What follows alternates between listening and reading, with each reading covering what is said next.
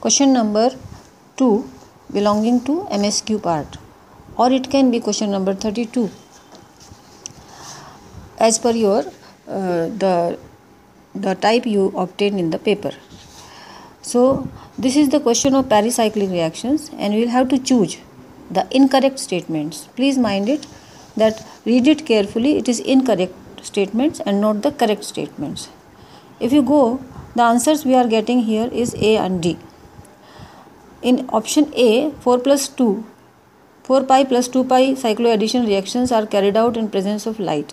It is wrong, it is incorrect because 4 plus 2 pi cycloaddition is a Diels-Alder reaction and it is carried out in presence of heat.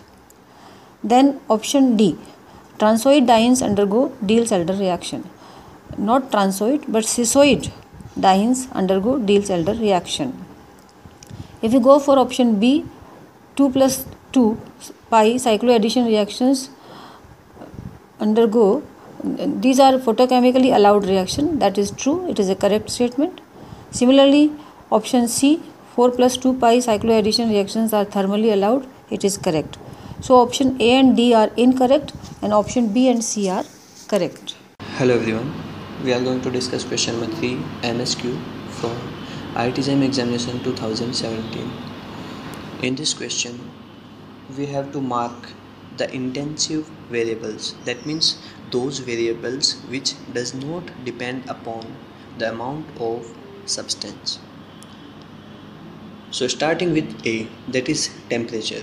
We know that temperature of a substance is independent of its amount. So it's an intensive property coming to b volume. We know that the volume of a substance depends upon its quantity. The more the quantity is more will be its volume. So volume is not an intensive property it's an extensive property. Coming to pressure. Pressure is also independent of the amount of substance. So pressure is also intensive property. And density we know that density is uh, independent of amount so density will also be an intensive property. So out of three, four options a c and d represents the intensive property or contains the intensive uh, variables. Hello everyone. We are going to discuss question number 4 msq from IIT JAM examination 2017 in this question we have to mark the phenomenon which depicts wave nature of an electromagnetic radiation so that's a quite simple problem. As we know that photoelectric effect and Compton scattering represents the particle nature of electromagnetic radiations and diffraction as well as interference depicts the wave nature of electromagnetic radiations. So option a and option b will be the correct answer for the question. Question number 5 of msq or it can be question number 35 also it is based upon shape of different organic com different compounds it is asking about the seesaw shape seesaw shape seesaw shape is also known as kappa type of shape like letter K. So the answer is A and C. In A we are having SF4 molecule. It has sp3d hybridization. It has two substituent groups at axial positions and two are in the equatorial position and the lone pair is occupying the equatorial position.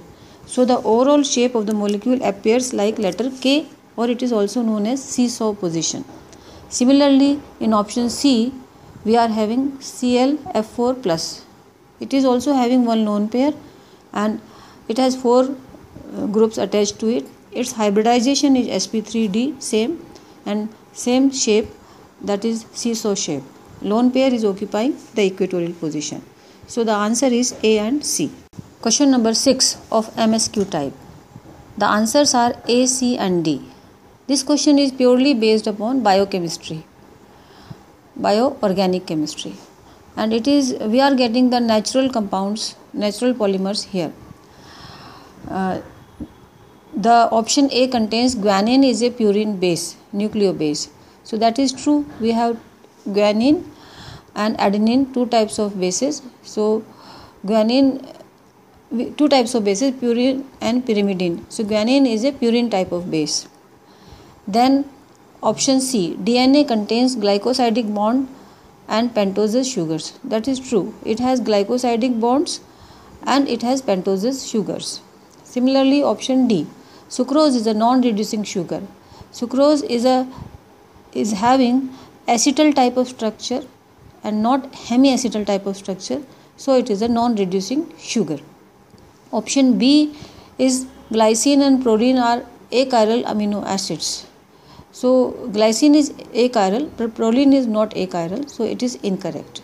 So the correct options are a c and d. Question number 7 of msq type it is again a pericyclic reaction and it is a, a sigma tropic rearrangement reaction. It involves 3-3 sigma tropic rearrangement shifting. It is also known as Claisen rearrangement. So the answers are B, C and D which are having the correct statements that it is sigma tropic rearrangement, Claisen rearrangement and it is and it is pericyclic reaction. It is not oxy-Cope rearrangement. So A option is not correct.